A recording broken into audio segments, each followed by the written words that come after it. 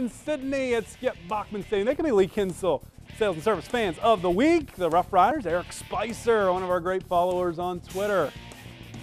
Ready, reversing field for a long run to the other side against Coach Dengus and the.